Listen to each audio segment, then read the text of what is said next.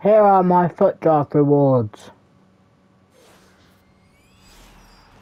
A premium gold pack and a jumbo, jumbo premium gold 26 pack. Not very good.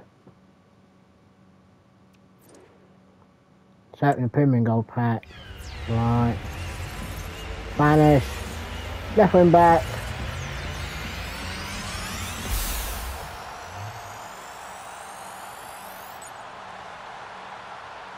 Laura Day. Yep. On to the next one.